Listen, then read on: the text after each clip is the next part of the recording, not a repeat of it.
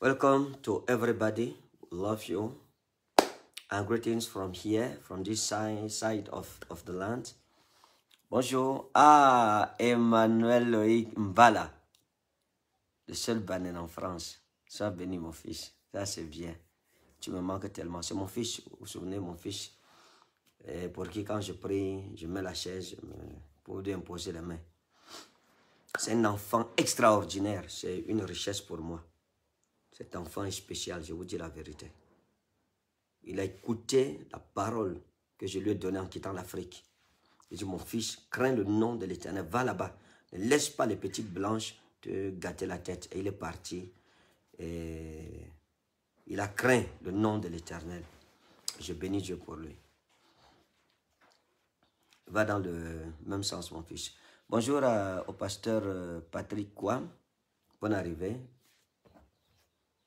Bonjour au prophète Samuel Ahanda. Et ça, c'est important. hein. Les hommes de Dieu doivent se connecter massivement aujourd'hui. Partagez la vidéo, appelez les hommes de Dieu, invitez les hommes de Dieu au maximum parce que nous, allons, nous parlons du ministère. Et l'Église aussi, les chrétiens doivent être massivement connectés pour euh, connaître ces choses-là parce qu'il y en a qui ne connaissent pas. Vous voyez, on appelle tout le monde pasteur en désordre. On appelle les gens pasteurs ici, à gauche, à droite. Tout le monde appelle apôtre en désordre. Donc, il faut que les choses puissent être, Hum, papa, je suis jaloux. Hein? Pas de jalousie, mon fils. Marie Eko, bonjour. Voilà. Bonjour Virginie Ngonjok. Virginie Ngonjok, ça dit un nom puissant. Bonjour à Michou Chilote. Wow. Bonjour à Deflin Me- Miogue. Bonne arrivée. Bonjour à Ben Alix Lendibi. You are welcome, sir. Mar NG. Greetings from Berlin. Wow! Ça, c'est bien. L'église de Nuremberg, j'espère que vous êtes connectés. Bonne arrivée à l'évangéliste Deborah Brignon. Est-ce que l'église de Nuremberg est là en direct? Est-ce que l'église de, de Suisse est là? Est-ce que l'église de France est connectée? Signalez-vous, s'il vous plaît. Bonjour à chacun. Bonjour. Est-ce que le Togo est connecté? Est-ce que le Bénin est connecté? Est-ce que la Côte d'Ivoire est connectée? Est-ce que le Burkina Faso est connecté? Est-ce que mes filles du côté du Burkina Faso, Côte d'Ivoire sont connectées? Vous voyez, ça c'est des choses importantes, c'est une richesse. Partageons, c'est même pas un enseignement, ça c'est un héritage qui vous est donné. Ouais. Kevlin, voilà. Bonjour Kevlin, je suis docteur de la parole. Ça c'est c'est Deflin Memioge, je suis docteur de la parole. Gloire à Jésus. Bénissons le Seigneur, que Dieu multiplie les docteurs de la parole. On en a besoin. Vous voyez?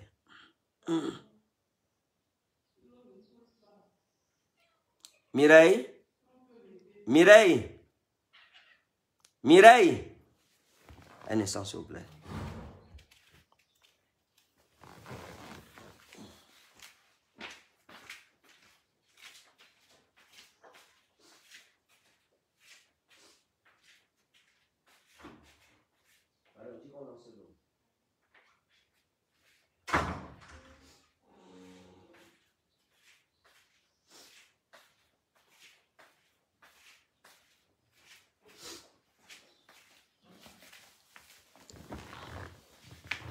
Voilà, nous sommes de retour.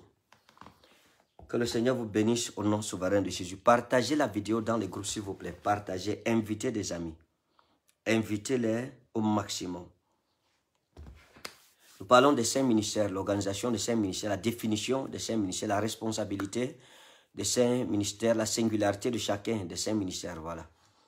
Seigneur, nous te bénissons pour ta grâce, pour l'Église et le don des saints ministères. C'est ta sagesse architecturale, Seigneur, qui a permis que l'on puisse être aujourd'hui appelé au ministère. Nous prions pour chacun qui est connecté dans le monde entier, Seigneur, que ta grâce nous soit donnée. En ce moment, nous voulons commencer. Saint-Esprit, prends contrôle et enseigne-nous ce que nous avons besoin de connaître pour vivre et pour grandir. Seigneur, je prie que tu accordes à chacun de nous un entendement de disciples et que ce soit fait dans la paix et le respect mutuel. Que ton nom soit béni, qu'il soit exalté au plus haut des cieux, au nom puissant et souverain de Jésus-Christ. Amen. Que Dieu te bénisse au nom de Jésus. Voilà, nous allons commencer. Hier, j'ai parlé du ministère apostolique. Aujourd'hui, je ne veux pas revenir dessus parce que je juge que j'ai dit au moins l'essentiel là-dessus. On va parler du ministère prophétique et je vais m'attarder un peu sur ce ministère parce que moi-même étant prophète. Alors, pour revenir à la conclusion, euh, sur le ministère apostolique, on a expliqué qu'un apôtre, c'est un apostolos. Ça veut dire que c'est un appelé pour être envoyé quelque part. On a aussi expliqué que l'apôtre fait l'œuvre d'un pionnier. Ça veut dire quoi? Il va dans les terrains Attendez, laissez-moi vous montrer comment ça se passe. Dieu envoie l'évangéliste. Prenons le cas, le, le cas d'une forêt. L'évangéliste arrive, on l'envoie en mission et c'est toute une forêt avec de grands arbres. Ça, le but, c'est de frayer un chemin, une route. Quand l'évangéliste arrive dans la forêt, il trouve ces grands arbres-là. Alors, qu'est-ce qu'il fait? Il va déraciner les arbres. Il déracine, il déracine, il déracine, il déracine les arbres. Quand il a déraciné les arbres, son travail est fini. Lui déracine, il jette en bordure de route, il déracine, il jette comme ça, il déracine. Donc on a une idée. Dans la forêt, on voit euh, une grande voie qui est tracée, mais les arbres sont couchés à gauche, à droite, au milieu de la route, parce que lui déracine il jette, il déracine, il jette, il déracine, il jette. Alors, la route est déjà là, on a une idée de la route. On peut déjà voir la traçabilité de la route, mais elle n'est pas encore praticable. Alors le pasteur arrive. Quand le pasteur, lui, il arrive, il enlève les arbres que l'évangéliste a laissés là. Il enlève ça. Il va mettre ça où ça devrait être. Il remble un peu la route. Il enlève, il remble un peu, il remble un peu, il remble un peu. Et puis maintenant, la route est tracée. Il n'y a plus d'arbres, mais il y a encore des trous parce que le pasteur a fait ce qu'il pouvait faire. Il a remblé, son travail est fini là-bas. Et puis le docteur de la parole arrive. Quand le docteur de la parole arrive, lui, il goudronne la route. Il la goudronne complètement. C'est-à-dire qu'il nivelle, il verse le bitume, il bitume la route. Il arrange bien. La route est déjà goudronnée. On peut même déjà circuler sur ces routes. Mais lui, son travail finit là-bas. Le problème, c'est quoi? C'est qu'il n'y a pas de feu de signalisation. Il n'y a pas de tracé sur le goudron. Voyez. Là, maintenant, le prophète arrive. Quand le prophète vient, il trace. Il dit que ici, là, c'est sens interdit. À gauche, là, tu peux aller. À droite, tu ne peux pas. Ceux qui montent doivent aller à droite. Ceux qui descendent doivent venir du côté de la gauche. Et puis, il met les feux de signalisation, les panneaux de signalisation, feu rouge, feu jaune, feu vert, etc. Donc, ça fait que maintenant la route est praticable et il y a des feux de signalisation et tout ça sous la supervision de l'apôtre. Voilà un peu comment les cinq ministères fonctionnent. Or, le ministère apostolique, c'est la capacité. Lui, il a tout ça en lui. Tandis que l'évangéliste va aller, il va prêcher Christ aux païens, et puis jette ces païens-là qui entrent dans l'église sans aucune ignorance, qui ne connaissent pas la vie de Christ. Le pasteur va venir leur enseigner la vie de Christ, comment il faut se comporter, la vie de Christ, comment vivre ensemble en tant que communauté chrétienne. Et puis le docteur vient leur enseigner maintenant les sciences du royaume de Christ. Il connaît les sciences du royaume de Christ. Et l'apôtre et le prophète, lui, quand il va arriver, il va leur dire, n'allez pas à gauche, n'allez pas à droite, arrêtez-vous, avancez, car ainsi parle l'Éternel. Vous voyez, c'est un peu comme ça que ça se passe.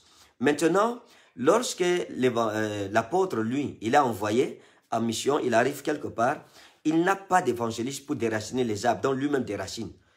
C'est-à-dire, il revêt le manteau d'un évangéliste, il déracine les arbres. Il n'y a pas un pasteur pour venir enlever les bouts d'arbres là, les, troncs d'arbres, pour aller mettre où ça doit être mis. L'apôtre lui-même, il se charge de cela, il porte le manteau de pasteur.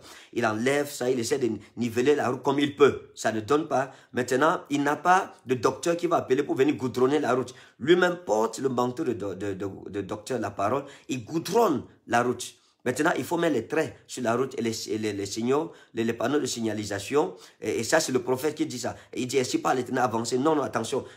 L'éternel dit, arrêtez-vous. Vous voyez un peu, quand le mystère, la colonne de nuit et la colonne de feu. C'est le, le rôle du prophète. De dire au peuple, ainsi pas l'éternel. Voici la volonté de Dieu. Non. Ici, restons, avançons. La colonne, elle est sur place. On reste sur place. Avançons. Parce que la colonne est en train d'avancer. Donc, comme il n'y a pas de prophète, lui-même est prophète en tant qu'apôtre, il revêt le manteau de prophète et puis il met les panneaux de signalisation, etc. Donc il bâtit une église mature dans laquelle on retrouve encore les cinq ministères. Et puis il va ailleurs. C'est pour ça qu'on dit qu'un apôtre n'est pas fait pour être dans une église locale. Quand nous disons que l'apôtre n'est pas fait pour être dans une église locale, il faut bien comprendre ce que ça signifie. Ça veut dire que, ça ne veut pas dire qu'il n'a pas d'église où on sait que ça c'est son assemblée il reste. On veut simplement dire qu'il est itinérant. Qu'il se déplace beaucoup pour aller pour les campagnes d'évangélisation, pour ouvrir les églises, il bâtir les églises. Mais cependant, il a aussi quand même une maison où il peut revenir se reposer. Un peu comme l'apôtre Paul et Silas, Barnabas, etc., qui sortaient de l'église d'Antioche. Donc, ils pouvaient aller dans le monde entier. Ils revenaient Antioche se reposer dans des retraites et dans des jeûnes. Et puis, ils repartaient encore. Donc, voilà un peu. Mais un, apôtre ne saurait être un pasteur. Il ne peut pas se conduire comme un pasteur. Ça veut dire qu'il a une église, c'est le début de sa vie là-bas et la fin de sa vie dans une église locale. Non. Un apôtre est comme un évangéliste et comme un prophète. Les trois ministères, ils sont des ministères itinérants. C'est des personnes que vous ne pouvez pas retenir sur place. À moins que le prophète soit un prophète d'assemblée. Parce qu'il y a les prophètes d'assemblée.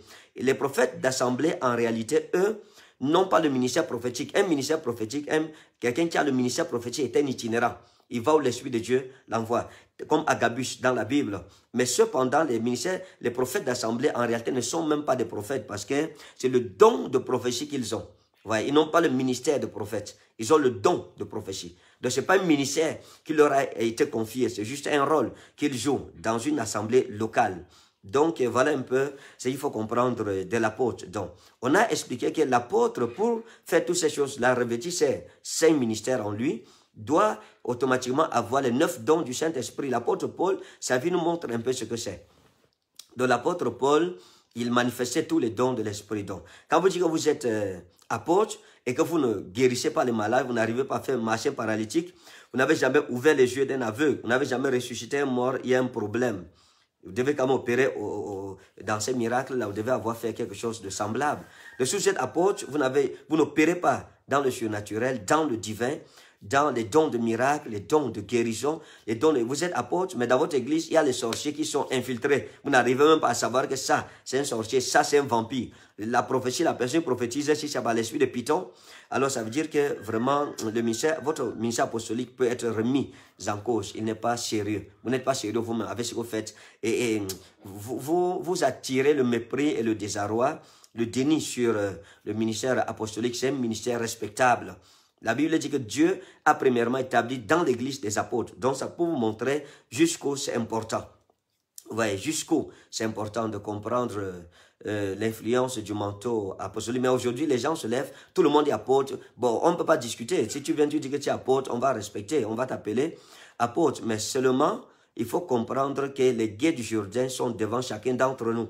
Donc, euh, quand tout le monde disait Galadite ou bien Benjamite, tout le monde disait non, non, non, non, non, non, moi je suis Benjamin, je suis Benjamite. Mais les Galadites disaient je suis Benjamite. Et on disait, ok, il n'y a pas de problème, mais il y avait les gays du Jourdain devant. Alors, arrivé au guet du Jourdain, on disait dit Chibolette.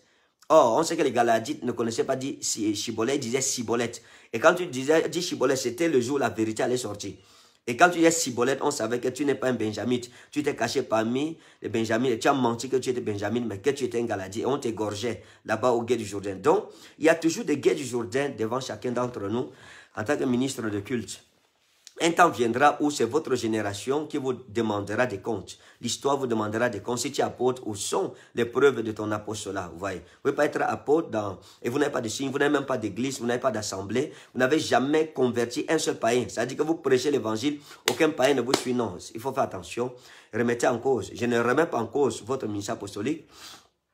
Mais vous devriez le remettre en cause vous-même parce que la Bible dit, si nous nous examinions, nous-mêmes ne serions plus jugés. Si nous jugions nous-mêmes, nous serions plus jugés. Dit, examinons nous-mêmes pour savoir si nous sommes encore dans la foi. Donc, c'est parfois important de se remettre en cause et non pas de passer le temps à remettre les autres en cause. Donc, voilà un peu en général ce que c'est qu'un apôtre. C'est un ministère respectable. Et j'ai dit que c'est la première autorité dans l'Église et la seconde, c'est les prophètes. Maintenant, il faut, j'ai expliqué que il y a eu des apôtres dans l'Ancien Testament, mais leur rôle n'était pas euh, signifiant, il n'était pas déterminant comme dans le Nouveau Testament. Ça veut dire que ce n'était pas d'aller prêcher.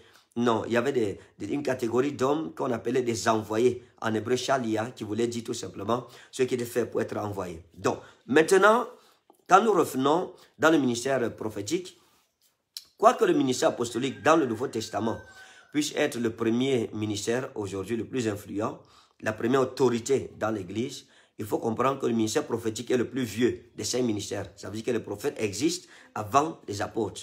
Les ministères, les prophètes connaissent, ça veut dire connaissent le, rouage, la marche avec Dieu avant les apôtres. J'ai toujours l'habitude de prendre l'exemple du Cameroun, des deux chambres camerounaises, ça veut dire la chambre des députés et la chambre des sénateurs.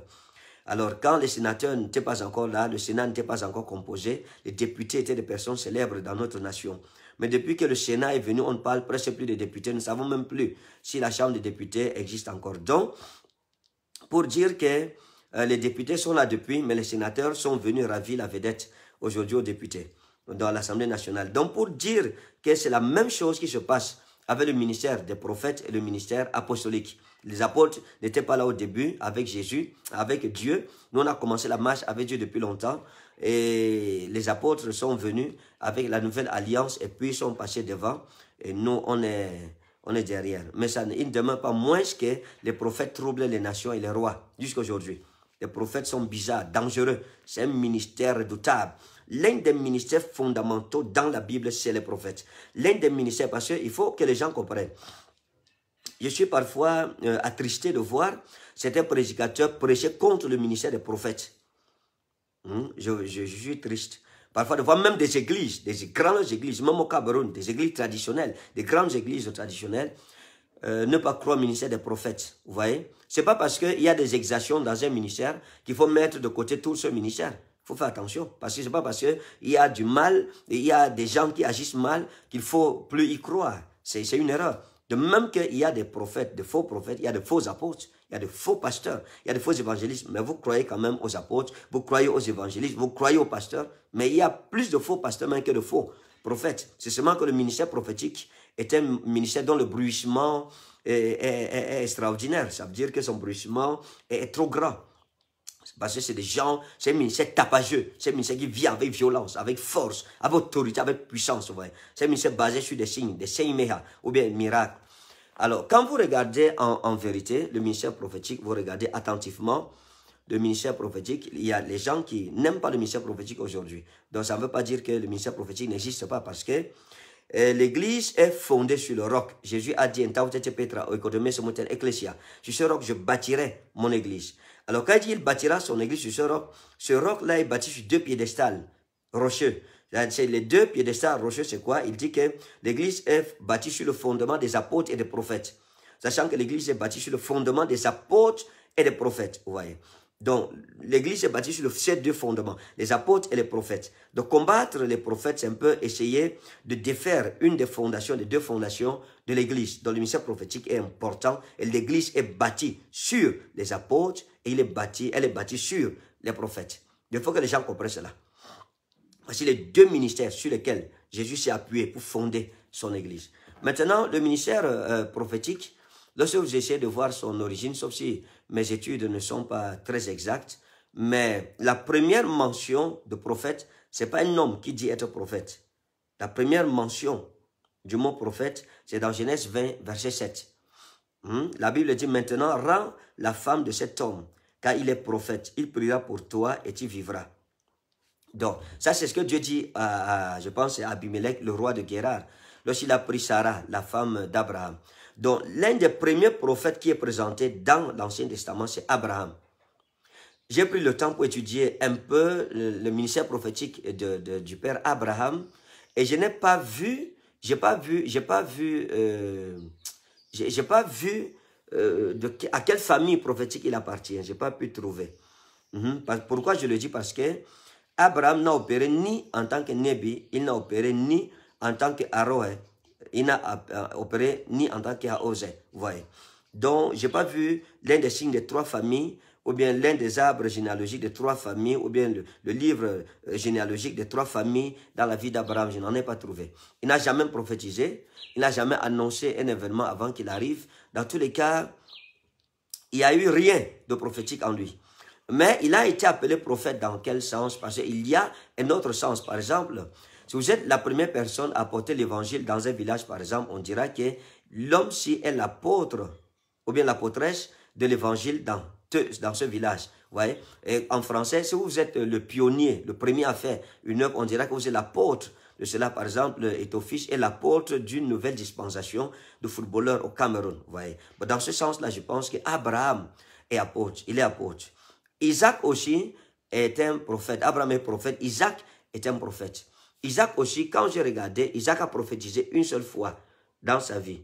Isaac a prophétisé une seule fois dans sa vie lorsqu'il a donné la bénédiction à, à, son fils Jacob, pensant que c'était Esaü. Bon, maintenant, il y a un problème là-bas. Il y a un problème, c'est dit qu'il est prophète, mais il n'arrive même pas à reconnaître que celui qui est devant lui n'est pas son fils, n'est pas le fils et son fils, mais ce n'est pas, pas Esaü qui voulait bénir. Voyez Donc ça trouble un peu. Normalement, un prophète, en tant que prophète, Aaron il devrait connaître. Vous voyez un prophète, c'est quelqu'un à qui Dieu parle. Dieu lui avertit certaines choses. Bon, ici, il n'a pas pu voir. Il n'a pas vu. Bon, on comprendra que c'est le plan de Dieu parce qu'il fallait que Jacob. Bon, mais quand même, il n'en demeure pas moins qu'il n'a pas su qu'il se faisait arnaquer. C'est après qu'il a su quand Esaü est arrivé. Donc, la seule, la seule fois il a prophétisé, c'est quand il dit au grand frère, tu seras soumis à ton petit frère. Et les choses là sont arrivées. De là, on a vu son ministère prophétique. Jacob, lui aussi, dans son ministère prophétique, on n'a pas vu vraiment un ministère prophétique élargi. Non. On voit où il prophétise sur ses douze fils et la chose va arriver. Il donne la prophétie à chacun d'eux et il est prophète. Donc voilà un peu. Donc Abraham ne prophétise presque pas. Isaac prophétise un peu. Et puis Jacob élargit un peu le, spectre de son ministère prophétique et puis il s'en va. Donc lorsqu'on essaie de regarder la chronologie, euh, après Abraham, qui sera appelé prophète, et on verra dans Exode 7, verset 1, la Bible appellera Moïse. L'Éternel dit à Moïse, vois, je te fais Dieu pour Pharaon et Aaron, ton frère, sera ton prophète. Voilà la deuxième fois où le mot prophète euh, apparaît dans l'Ancien Testament en rapport avec Moïse et Aaron. Vous voyez. Après cela, dans Exode 15, verset 20, on parlera de la première fois d'une femme qui occupe l'office de prophète. Donc, euh, et on l'appellera prophétesse. Marie, la prophétesse, sœur d'Aaron, prit la prit en main un tambourin, et toutes les femmes vinrent après elle, etc. Donc, ça c'est la, première femme prophétesse dont la Bible va nous parler, vous voyez. Et la Bible va continuer, quand nous continuons la lecture, la Bible parlera beaucoup, beaucoup de prophètes. Le mot prophète reviendra beaucoup de fois dans le livre de Deutéronome. Et dans, après Deutéronome, dans Juge, chapitre 4, le verset 4, la Bible parle d'une deuxième fois d'une femme qui est prophétesse. Dans ce temps-là, Déborah, prophétesse, femme de Lapidote, était juge en Israël, dans Juge 4, 4. Donc ici, on voit qu'il y a une femme prophétesse qui va encore faire son apparition. Et maintenant, il y a ce qu'on appelle les prophètes inconnus dans la Bible. Ils sont nombreux, dont la Bible a parlé, mais on n'a pas donné leur nom. C'est-à-dire, on ne sait pas exactement de quel prophète il s'agissait. Il y a les prophètes inconnus ou bien les prophètes anonymes. Euh, on prendra par exemple un, exemple dans Juge 6, verset 8. L'Éternel envoya un prophète aux enfants d'Israël. Il leur dit, ainsi par l'Éternel, le Dieu d'Israël, je vous ai fait monter d'Égypte, etc. L'Éternel leur envoya un prophète, voyez, et un prophète vint. Il y a des prophètes anonymes qui, étaient, qui existaient, mais la Bible n'a pas parlé de leur nom. Ils faisaient leur ministère clandestin, pas clandestin, mais ils étaient dans l'anonymat. Ils faisaient leur ministère, mais on ne sait pas exactement qui ils sont, quel était leur nom, etc. Donc, euh, hormis les prophètes que nous connaissons dans la Bible, les majeurs ou les mineurs dans l'Ancien Testament, il y a eu d'autres, beaucoup d'autres prophètes. Il y a eu beaucoup, beaucoup d'autres prophètes, d'autres dont on a donné le nom, mais qui ne faisaient pas partie des, prophètes majeurs ou mineurs que la Bible a cités dans le Pentateuque. Voilà. On a par exemple le prophète Achija qui a fini sa vie étant aveugle, mais quand la femme de Jéroboam est arrivée, il a vu, il a su que c'était la femme de Jéroboam. Voilà pourquoi j'ai fait une comparaison entre le prophète Achija et le prophète Isaac, qui étant aveugle n'a pas connu, reconnu, euh, même malgré que Jacob ait parlé, n'a pas pu dire que tu n'es pas Esaü. Oh, tandis que Achija, lorsque la femme a franchi le seuil de sa maison, étant masquée, parce que Jéroboam demandera même à sa femme de se masquer. Parce qu'il se méfiait, il se méfiait, il n'avait pas confiance en Achija. Il savait que cet homme était un rohé, un prophète rohé. Donc, et quand Achija, la, la, femme de Jéroboam, va juste mettre le pied dans sa maison, sur sa véranda, il dira, femme de Jéroboam, pourquoi tu es masquée? Elle sera étonnée. Il lui dira, tu es venu pour l'enfant. C'est un peu ce genre de ministère prophétique qu'il faut dans cette génération. Des personnes qui sont chargées de Dieu. Des personnes qui entendent Dieu 24 heures sur 24. Parce que la particularité du ministère prophétique, c'est quoi? La différence entre le ministère prophétique, le ministère pastoral le ministère euh, doctoral, le ministère évangélique, c'est quoi? C'est que un docteur enseigne ce qui est écrit. Il lit ce qui est dans la Bible. Ça ne veut pas dire qu'il n'a pas de révélation. Mais un prophète, Dieu lui parle différemment, c'est-à-dire directement. La Bible dit, l'Éternel parle avec Moïse face à face comme un homme parle avec son ami. Ouais. Donc, le ministère prophétique, la différence avec les quatre, avec les trois autres ministères, parce qu'un apôtre, lui aussi, c'est la même chose. Vous vous souvenez de Pierre, apôtre Pierre, qui est à Jaffa, et puis il est en pleine retraite, et le Saint-Esprit lui dit, descend, il va dans la maison de Corneille. Pourquoi? Parce que ça, c'est le ministère prophétique. Qui agit en tant qu'apôtre, il bénéficie du manteau des prophètes. Donc, ce qu'un prophète vit, il le vit aussi. Donc, le prophète, la, la, différence avec le ministère prophétique, c'est quoi? C'est que le prophète, c'est quelqu'un qui cause avec Dieu. Donc si on vous appelle prophète et que vous ne causez pas avec Dieu, c'est un problème. Vous n'êtes pas un prophète mature ou alors vous n'êtes pas du tout un prophète. Il ne peut pas avoir de prophète sans parole directe de l'éternel. Les prophètes sont ceux que Dieu admet dans son secret. Ça, c'est la première caractéristique du ministère prophétique qu'il faut que les gens comprennent. Un prophète ou une prophétesse doit être quelqu'un qui cause avec Dieu. Tant que vous ne causez pas avec Dieu, vous n'êtes pas un vrai prophète. Un vrai prophète a la capacité de parler avec Dieu. Si vous ne parlez pas avec Dieu, vous n'êtes pas encore un vrai prophète. Donc, il faut que, il faut que les gens comprennent que les prophètes, c'est des personnes qui entrent euh, dans l'intimité de Dieu. Qui entrent dans l'intimité de Dieu la Bible dira que quand le Seigneur Dieu ne fait rien sans avoir révélé son secret à ses serviteurs, les prophètes. Dans Amos 3, verset 7. Car le Seigneur l'Éternel ne fait rien sans avoir révélé son secret à ses serviteurs, les prophètes. Vous voyez. De la parole, c'est-à-dire que c'est le seul ministère où Dieu parle de révéler son secret aux prophètes. Et, dans ce sens-là, Abraham, son ministère prophétique se justifie. Parce que Dieu dit à Abraham, cacherai-je à Abraham ce que j'ai l'intention de faire? Voyez, Dieu dit à Abraham, est-ce que je vais te cacher à toi ce que j'ai l'intention de faire? Ça veut dire que les prophètes ont l'intention de Dieu. Tandis que les docteurs ont la parole de Dieu, le peuple a la parole de Dieu. Et, il faut faire attention. J'ai eu l'habitude de dire que la pensée de Dieu est supérieure à la parole de Dieu. La pensée de Dieu, la pensée de Dieu est supérieure à la parole de Dieu. Et les prophètes ont la pensée de Dieu, qu'ils traduisent en parole pour le peuple. Le peuple n'a pas la parole de Dieu, mais il a la pensée de Dieu. le peuple n'a pas la pensée de Dieu, mais il a la parole de Dieu. Tandis que le prophète, lui, il a la pensée de Dieu. Tout prophète qui n'a pas la pensée de Dieu, euh, il, y a, quelque chose qui ne va pas dans sa vie. Il y a quelque chose qui ne va pas dans son ministère. Et la pensée de Dieu est supérieure à la parole de Dieu. Et quand je parle de la parole de Dieu, je parle de la parole parlée de Dieu. Ça veut dire que du logos, pas du logos arx. Parce que le logos arx, c'est Jésus-Christ.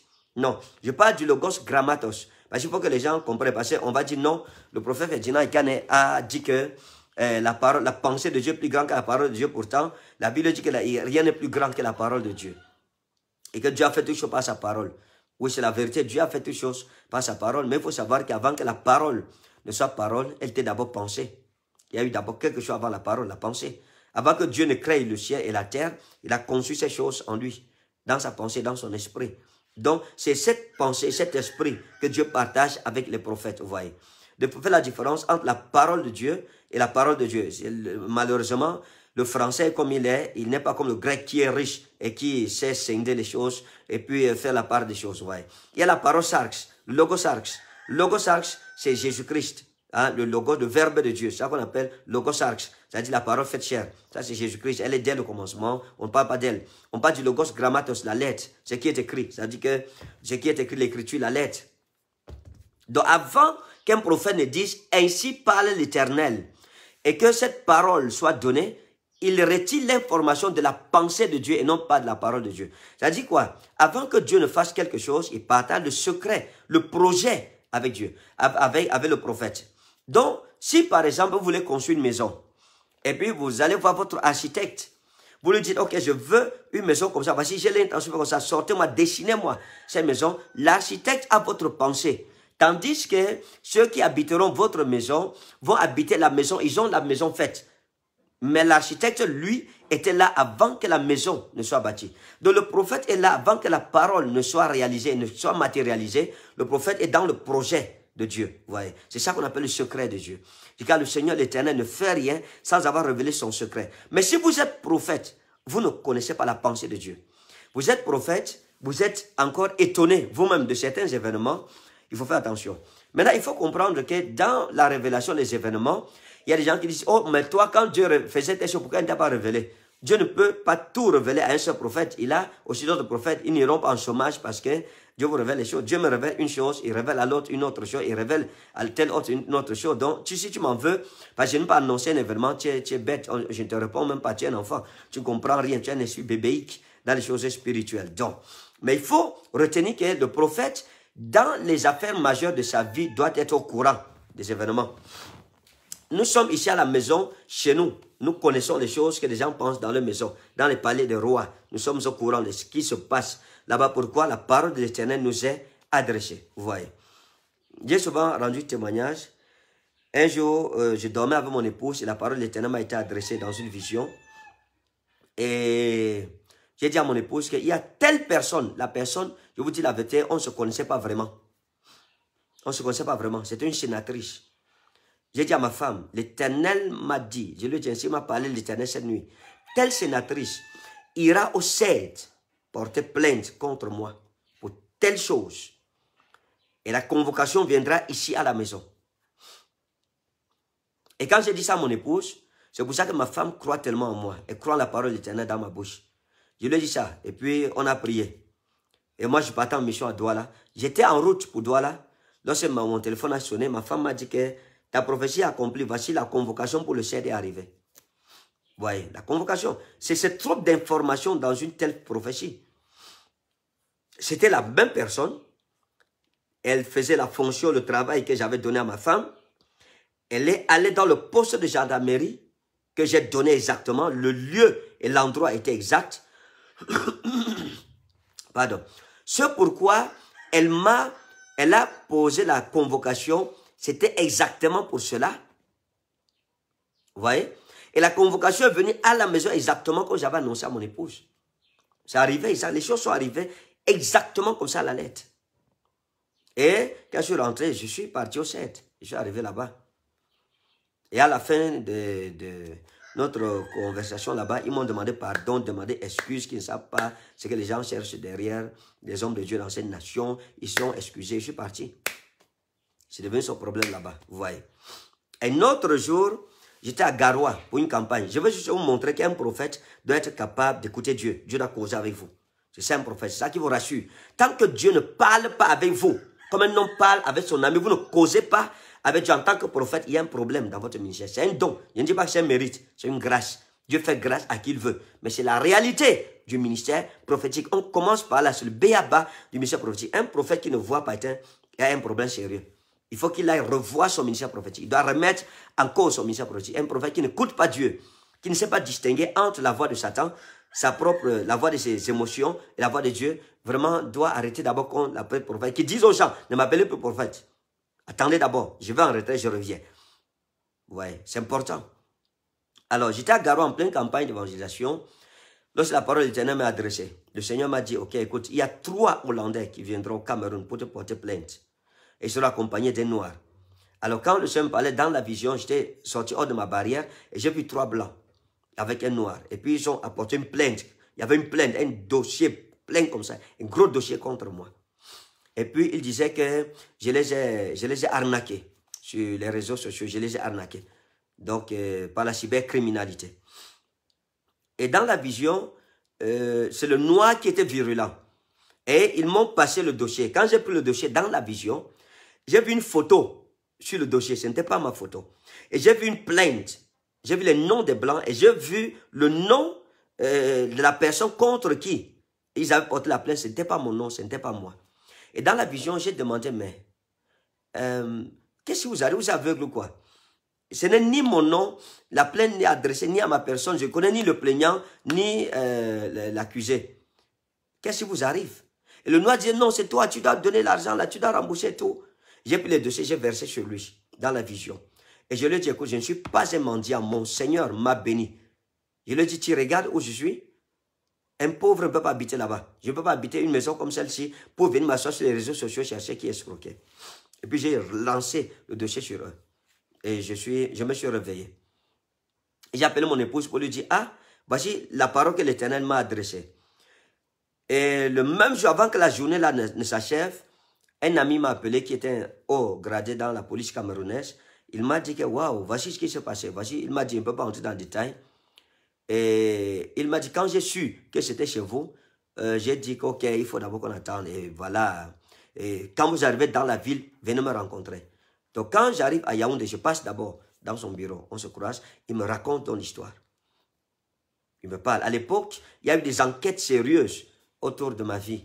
Il y a même des drones qui ont été envoyés. Pendant que je causais avec une autre autorité, au grade de la police camerounaise, il m'a dit que non, c'est la police camerounaise qui avait envoyé le drone à la maison chez moi pour faire certaines enquêtes, etc. Donc quand j'arrive chez cet ami dans son bureau, il m'explique donc qu'il y a trois blancs qui sont quittés de quel pays là. Il réfléchissait, je lui dis c'est la Hollande. Il me dit, ah bon, tu sais, tu connais comment? J'ai dit, l'éternel me l'a révélé. C'est ça un prophète. C'est de ça que nous parlons. Quand on parle de mission prophétique, ce n'est pas les jeux, c'est sérieux. C'est une, une office, c'est une fonction. Car le Seigneur l'éternel ne fait rien sans avoir révélé son secret à ses serviteurs, les prophètes. Il faut que chaque prophète dorme avec le verset ci, réfléchisse, va en retraite avec le verset ci. Regarde si Dieu ne fait rien dans ta vie, ta famille, ton ministère sans te révéler. Si tu vois qu'il y a des événements qui échappent à ton contrôle, ça veut dire que le verset, si tu n'es pas encore dans le secret de Dieu et donc il y a un problème, il faut résoudre ce problème pour entrer dans le secret de Dieu. Nous, on vit dans le secret de Dieu. C'est ça qui fait un prophète. Et donc, quand il m'a raconté ça, il m'a dit, ok, va. Le commissariat de sécurité publique de ton quartier va t'envoyer une convocation au courant de cette semaine. Et c'est ce qui est arrivé, la convocation est arrivée. Je suis arrivé au commissariat et l'enquêteur, il y avait toute une paperasse de dossiers. L'enquêteur m'a fait asseoir, il m'a poussé le dossier devant moi et il m'a dit que, ok, qu'est-ce que vous pensez de ces accusations portées contre vous? Quand je regarde le dossier, c'est la même photo que j'ai vue dans la vision. La même photo. La même photo. Je regarde dans le dossier, je vois les noms des blancs, trois blancs. Je ne connais ni celui qui est sur la photo, ni son nom, ni les plaignants. J'ai repoussé le dossier devant l'enquêteur. Je dis, vous, qu'est-ce qui vous arrive même au Cameroun? On est même dans quel pays? Vous me demandez qu'est-ce que je pense des faits qui me sont reprochés? Il s'agit de quels faits qui me sont reprochés? Il n'y a ni mon nom dans la plainte. Je ne connais ni le plaignant, ni celui contre qui la plainte a été portée. Mon nom n'apparaît nulle part. Mon rapport avec le dossier, c'est quoi? Jusqu'au point où vous me demandez, vous, un enquêteur professionnel, que vous me demandez qu'est-ce que j'ai dit des faits qui me sont reprochés, quels faits me sont reprochés? Donc il m'a expliqué, non vraiment, les Blancs ont été hackés, ils ont fait, ils ont apporté des appareils là-bas qui ont localisé votre maison et on a dit ça votre Wi-Fi, qu'on a eh, piraté, on travaille avec votre Wi-Fi. Je suis dans une zone universitaire, vous voyez. Donc c'est avec votre Wi-Fi qu'on a traficoté, on a eh, introduit. Il y a une machine chez vous, un ordinateur chez vous, eh, qui je lui ai dit que frère, vous perdez le temps, vous perdez votre temps. Hein? Vous avez localisé une machine chez moi qui a fait qui a fabriqué et, qui a, comment on dit même ça encore, qui a frappé ces blancs, qui a usurpé volé les blancs, etc. Mais vous venez, vous prenez la machine, vous saurez qui est le propriétaire. Et puis vous l'arrêtez, c'est tout. Non, il y a quelqu'un chez vous qui sort tard la nuit, il rentre tôt le matin. J'ai dit, peut-être vous parlez de la maison d'une autre personne. Chez moi, la discipline à telle heure, ma porte est fermée, elle n'est pas ouverte si je ne donne pas l'ordre. Peut-être vous parlez de la maison d'une autre personne. Donc j'ai dit vraiment, il ne faut pas me perdre le temps. Ne perdez pas le temps. Si vous avez localisé la personne chez moi, venez l'arrêter.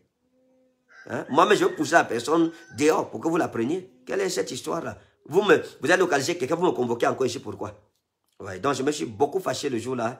Et j'ai parlé, j'ai grondé au commissariat. Et, surtout quand je causais le commissaire spécial, Hmm, non, non, non, non. Il a voulu me calmer. Je lui ai dit non, non, il ne faut pas exagérer. Ce n'est pas parce qu'on est des jeunes hommes de Dieu dans cette nation. Donc, en tout cas, il a supplié que ça va, je peux partir. J'ai dit non, non, non, non, non. On doit arranger l'affaire là, il faut. Et puis, le commissaire de sécurité publique m'a rencontré. Il s'est même fâché. Pourquoi vous dérangez prophète? Laissez-le tranquille. Et puis voilà comment l'affaire est passée. Donc, on peut dire quoi? Dieu parle encore aujourd'hui. Le Seigneur parle. Nous servons un Dieu vivant. Un jour, je devrais faire un événement culte. On devrait faire un culte.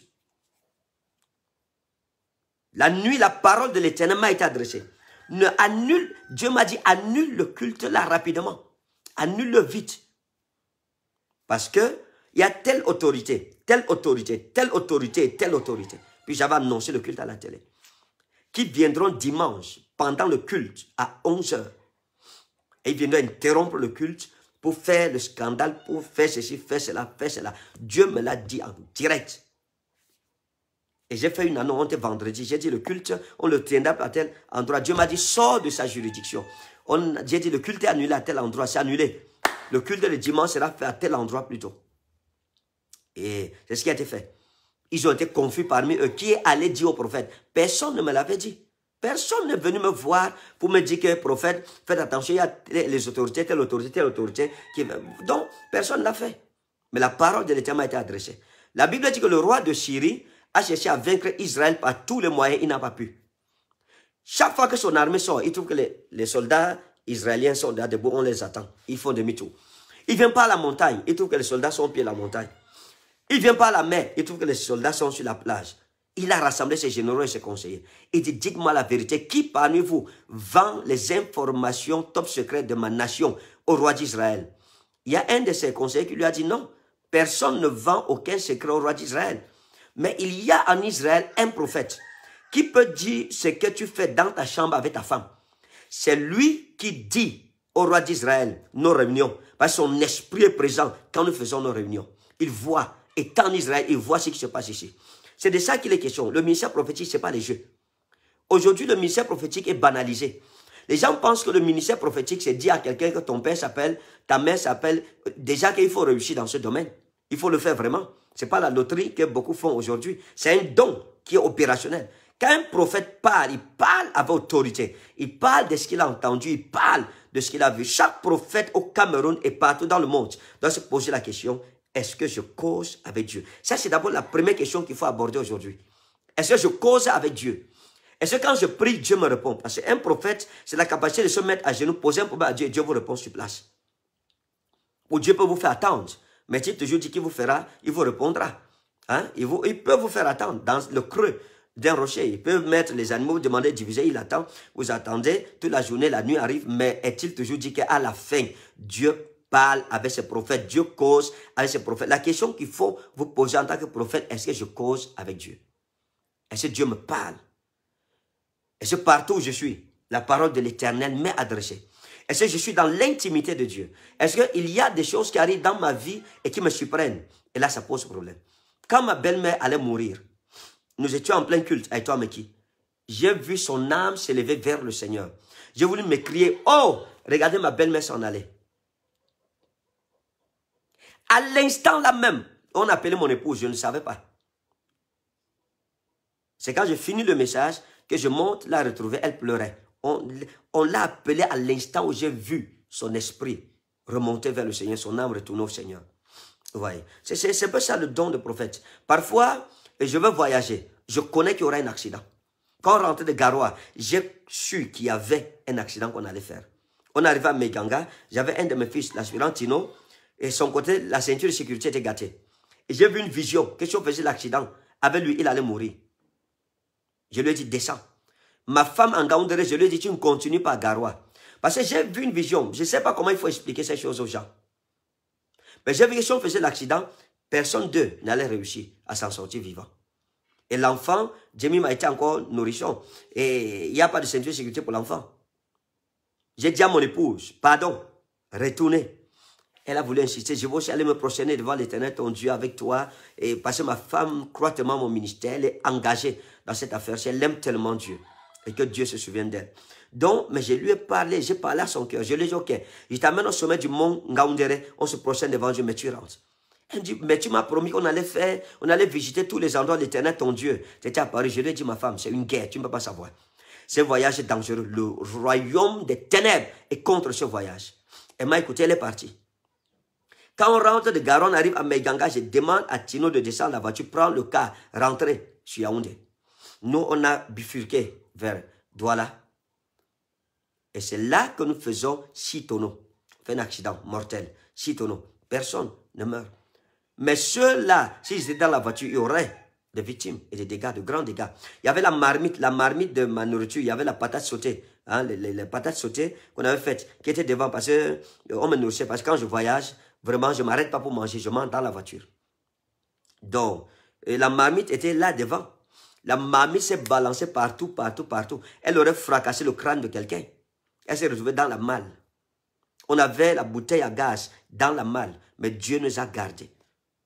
Donc c'est pour dire quoi? C'est pour dire que si la Bible dit que si l'Éternel ne nous eût laissé reste, nous serions comme Sodome semblable à Gomorre, c'est vrai. Si l'Éternel ne nous adressait pas sa parole, on serait fini. On serait mort. Aujourd'hui, on ne vivrait pas. Quand je suis arrivé à Garoua, euh, une de mes tantes a voulu m'empoisonner. Dès que je suis arrivé à l'hôtel, Dieu m'a dit, ta tante telle va t'empoisonner. C'est clair, je suis un prophète. C'était normal. Le premier jour, m'a fait manger. L'éternel m'a dit, ta tante va t'empoisonner. Mais il n'y a pas de poison dans ce repas. Et puis, j'ai mangé. Deuxième jour, je savais, j'étais conscient, j'attendais. Quand j'ai mis la nourriture devant moi, la parole de l'éternel m'a été adressée en ce thème. Ta tante va t'empoisonner, mais il n'y a pas de poison dans ce repas. J'ai donné le repas aux enfants. Le troisième jour, j'oublie, vous voyez, comment Satan est méchant. J'oublie que l'éternel m'a dit qu'elle va m'empoisonner. Je ne mange pas du matin jusqu'au soir. Elle apporte la nourriture à 14 heures. Parce que j'avais demandé qu'elle me fasse les feuilles de baobab. De baobab. Elle a fait les feuilles de baobab, c'est la nourriture du village chez nous. Donc j'aime trop les nourritures traditionnelles, vous voyez. Donc, quand j'arrive, elle arrive avec le repas, elle envoie son fils le jour-là, elle ne vient pas elle-même, elle envoie son fils. Et le gars est pressé. Moi, j'étais pas au salon, j'étais couché dans la chambre. Quand je sors, et quand tout le monde part, je sors donc, et je prends le plat, je me sers. L'éternel me dit, ne mange pas. Ce repas est empoisonné. Le repas est empoisonné. Et quand Dieu me dit que le repas est empoisonné, le Seigneur me dit, referme ce repas, va te coucher, reviens après une heure de temps. Je vais me coucher dans la chambre et quand je ressors, après une heure de temps, tout, tout l'appartement sentait. Ça sentait le pourri. Le couscous avait pourri. La sauce avait pourri. J'aime la vidéo là, j'ai retrouvé ça dans, une, dans un de mes téléphones. Je vais encore publier ça. En une heure, tout a pourri. Et si l'éternel n'était pas mon Dieu, et si l'éternel ne m'adressait pas sa parole, si je n'entendais pas la voix de l'éternel, je serais mort. Et c'est le dernier de la campagne qui m'a empoisonné. Pour que je ne meure pas à Garoua, j'allais mourir certainement pendant le voyage en retournant sur Yaoundé. Vous comprenez Donc, la parole de l'Éternel dit, l'Éternel ne fait rien sans avoir révélé son secret à ses prophètes, ses serviteurs prophètes. Il faut que chaque prophète se remette en cause. Que chacun, à partir de cette exhortation, se pose encore bien la question, est-ce que je suis un prophète? Si tu sens que tu n'es pas, démissionne toi-même. Si tu sens que tu les renfermes encore, raffermis ta relation personnelle avec Dieu. Un prophète est un ami de Dieu. Un prophète vrai est un intime de Dieu. On est allé à, Ebolova avec papa Dobi pour ouvrir l'église d'Ebolova. Une maman, une des brebis de l'église m'a vu. Elle dit, papa, nous vous aimons tellement. Oh, elle supplie, venez manger à la maison chez nous, venez manger. Heureusement, je ne mange pas chez les gens. Je ne mange pas chez les gens. Je ne prends pas la nourriture de quelqu'un. Donc, si vous voulez faire un don, donnez-moi l'argent, moi-même, je vais acheter ce que... Si vous apportez à manger, soyez sûr. Ça, peut-être, je n'ai jamais dit ça en public. Votre nourriture, je vais verser. Je ne mangerai pas votre nourriture. Je ne mange pas la nourriture de quelqu'un. Si tu veux me donner un don, donne l'argent. Je vais acheter moi-même, on fait. Mais dis que, ou bien tu apportes un matériel, d'accord, mais qu'on prépare le révérend prophète président et cadet. Mange, ne mange pas chez les gens. Quand je voyage, je voyage avec ma cuisine. Désormais, c'est comme ça. Depuis que ma tante a fait ça, je voyage avec toute ma cuisine dans la voiture. Ma nourriture qui Yaoundé, on fait ma cuisine sur place. Heureusement, j'ai une belle sœur extraordinaire. Que Dieu la bénisse. Maman Mireille est spéciale. C'est une femme spéciale. Elle est spéciale. C'est elle qui se sacrifie pour faire ma cuisine. Le monde est devenu dangereux. Ta tante cherche à te tuer. Tu as fait quoi? Rien. Quelqu'un que j'honorais, j'arrive, je donne 150 000 pour trois jours dans la situation de Garoua, sincèrement. Il faut faire attention. Ce n'est pas de sa vie, combien de fois elle a touché 150 000, mais je l'ai fait. Et je demandais à un de mes oncles là-bas, qu'est-ce que je peux faire pour elle? Je regarde sa maison, je reconstruis sa maison, je fais quoi? Pendant que je réfléchissais comme ça, elle réfléchissait que moi j'irais dans la tombe, vous voyez. Donc il faut faire attention, frère, le monde est dangereux. Donc quand nous sommes arrivés à Ebolova, cette maman a insisté que je mange sa nourriture chez elle. Elle m'a tellement persécuté, j'étais avec papa Dobi. Son mari et elle, pardon, venez, venez, venez, venez. J'ai dit, ok, je ne peux pas arriver chez vous, apporter la nourriture. Elle a apporté la nourriture, frère. J'ai dit à Papa mets ça dans la voiture. On est sorti de Bolova. On n'a pas fait une heure de temps. En 30 minutes, hein, la chaîne a explosé. La mousse. Vous voyez, quand vous secouez, c'est même quoi, le champagne, quand vous pouf, la mousse. Elle voulait m'empoisonner. Elle ne me connaissait pas. Je ne la connaissais pas. Je ne connaissais pas son nom. Je ne lui avais jamais dit bonjour. Je n'ai jamais pris rien d'elle. Pourquoi Je ne sais pas? Mais la parole de l'Éternel m'a préservé. L'Éternel m'a dit, il y a un poison dans le repas. Il a de billes. Mets de côté, tu vas voir ce qui va se passer. Et il a vu, et il a témoigné que Dieu parle encore aujourd'hui. Donc voilà, chers enfants, que le Seigneur vous bénisse. Prenons le ministère au sérieux. Ce n'est pas les jeux. Quand vous nous voyez, par exemple, nous arrêter, quelqu'un dit, ainsi parle l'Éternel, on parle aux nations, on va revenir sur ça, sur les trois familles des prophètes. Il faut faire attention. La parole de l'Éternel, le ministère prophétique est un ministère dangereux. La Bible dit, malheur au prophète qui dit ainsi parle l'Éternel et qui n'a pas été envoyé par l'Éternel. L'anathème est sur lui. Mais aujourd'hui, les gens ne craignent plus. Tout le monde se lève pour dire Dieu m'a dit, Dieu m'a dit, Dieu m'a dit. Il y a une malédiction qui s'attache à Dieu m'a dit lorsque Dieu ne vous a rien dit. Que le Seigneur vous bénisse dans le nom puissant et souverain de Jésus. Demain, s'il plaît au Seigneur, nous nous retrouverons à 10 heures. Mais, je veux vous dire ceci, s'il vous plaît, tous ceux qui me regardent, qui sont au Cameroun, ce dimanche 31 janvier, s'il vous plaît, ne manquez pas. Le grand culte des familles, où les familles seront consacrées à l'éternel, notre Dieu, à la Bible, à Yaoundé. Voyager. Pardon, voyage. Pardon, voyage. Je t'en prie. Je te parle comme un prophète parce que je sais ce qui va se passer. Ne reste pas chez toi. Douala, Garoua, Maroua, Limbe, Boya, partout. J'ai dit les églises de périphérie fermes. C'est-à-dire que Mbalmayo, Obala, ou encore, Ndikini il n'y a pas de culte là-bas. Vous venez à Yaoundé. Venez sur place. On va prier, consacrer les familles à l'éternel. Désormais, c'est comme ça. Et nous dormons. Non, non, pas dormons, c'est la nuit de prière après. Donc, ce dernier dimanche, tous les derniers dimanches, toutes nos églises doivent être rassemblées, s'il te plaît. Viens avec les enfants. Dieu m'a dit de oindre les enfants. Je ne sais pas pourquoi. Je ne sais pas pourquoi. Je ne sais pas qu'est-ce qui est écrit contre ton enfant. Quelles sont les attaques de Satan prévues contre ton enfant dans 5 ans, dans 10 ans, dans 20 ans, dans 40 ans, dans 50 ans. Je ne sais pas. Je sais une chose. Dieu m'a dit, mets ta main sur les petits enfants. Je vais mettre l'huile sur leur tête et Dieu va préserver l'avenir de ton enfant. Donc ne laissons pas nos enfants. Les dix bus seront disponibles dans tous nos points de départ. Kozoa, euh, euh, il y a où encore? Kozoa, euh, Soa, Bankolo, Ahala, et, partout vous connaissez, vous connaissez dans Colbison, et, et Mendon, vous connaissez dans les points. Les bus seront disponibles pour vous. Et il faut dire que ce vendredi, s'il vous plaît, à partir de 17h à la bille. Ne manque pas atmosphère de miracle. Le culte de dimanche commence vendredi. Ceux qui viendront vendredi auront la grâce d'avoir la double portion. Ils auront une première bénédiction, une première onction vendredi. Donc, où que tu sois, prends ton taxi, viens à la ce vendredi à 17h. Sois déjà là. Dieu veut te bénir. Dieu veut t'amener dans une autre dimension. Ne manque pas. C'est un programme redoutable tous ceux qui ont reçu les alliances prophétiques. Dimanche, revenez, on va lever ces alliances, on va vous joindre devant l'éternel et c'est fini. Va attendre ton mari, va attendre ta femme. Que Dieu vous bâtisse des foyers stables, plus stables que le mien avec mon épouse. Que Dieu te bénisse. Du 1er au 6 février, on a un grand séminaire des hommes de Dieu. C'est même pas un séminaire, c'est une retraite. On sera là matin, soir, matin, soir, on va dormir sur place. Donc ceux qui voyagent, venez avec vos petits matelas, votre literie, pour être sur place. Le restaurant sera sur place pour que vous ayez à manger. Venez chercher Dieu jusqu'à le trouver pendant ces six jours. Et cette année, votre ministère prendra un envol qu'il n'a jamais connu. Je vous dis la vérité devant le Seigneur Jésus-Christ. La conférence de Joseph d'Arimathée. J'acclame d'abord pour tous les Joseph d'Arimathée. Ce samedi, à partir de 10h, à la bille, mon épouse et moi, nous voulons vous bénir. On a la première conférence de 2021. C'est un événement. Ne manque pas. Il y a une bénédiction spéciale pour toi. Les bienfaiteurs, ce même samedi, à partir de 15h, nous sommes ensemble. La main de Dieu, à partir de 17h. La main de Dieu, 15h ou 17h. Venez à 15h, parce que l'inauguration de... 15h, 17h. L'inauguration du forage a été repoussée. Donc, venez nombreux, bienfaiteurs. Bravo, bravo, bravo. Ne manque pas, c'est la première conférence. C'est la première pierre que nous mettons. Viens écrire l'histoire, viens mettre la première pierre. Ne manque pas, c'est très important, la première conférence. Ne manque pas, s'il te plaît. Comme vous venez, que Dieu vous bénisse. Mon épouse et moi, nous vous aimons chaleureusement et nous sommes heureux de vous avoir comme enfant. Que Dieu vous bénisse au nom de Jésus-Christ. Amen. Rendez-vous demain dès qu'il sera 10h. Shalom, shalom, shalom. Ah.